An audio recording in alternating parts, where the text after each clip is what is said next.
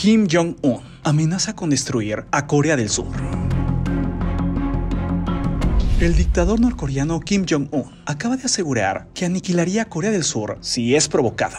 Él comenta que hace poco cortó sus relaciones con Corea del Sur y esto permite a su ejército, sí, al ejército norcoreano, de volverse más agresivos, si esto fuera necesario, para garantizar la supervivencia de Corea del Norte. Es así que sin dudarlo, las fuerzas de Corea del Norte atacarían y destruirían a Corea del Sur. Semanas antes, Kim Jong-un había asegurado en el parlamento de su país que Corea del Norte debe abandonar su objetivo de unir a las dos Coreas, y por esa razón se debía reescribir la constitución de Corea del Norte para ver a Corea del Sur ya no como un pueblo con el cual se iban a unir, sino más bien como un enemigo adversario bastante hostil. Inmediatamente tras esta orden, Corea del Norte cerró los departamentos del gobierno que manejaban asuntos con Corea del Sur, decidió destruir monumentos que hablaban acerca de la unificación de las dos Coreas y rompió casi cualquier lazo con Corea del Sur. Además, comenzó hacer ensayos de armamento, los cuales son tan poderosos que incluso tienen capacidad nuclear. Según expertos, la idea de Corea del Norte era generar miedo tanto a Corea del Sur, tanto a Estados Unidos, para así entrar en negociación y tener concesiones tanto de seguridad, tanto económicas. Además que Kim Jong-un está haciendo esto para que el pueblo de Corea del Norte sienta una gran amenaza contra Corea del Sur y así los vean como sus enemigos. Recuerda lo que dicen los expertos. Si tienes problemas en casa, peléate con tu vecino. Y eso hacen mucho los políticos. Se pelean con gente de fuera para intentar unir a los de casa.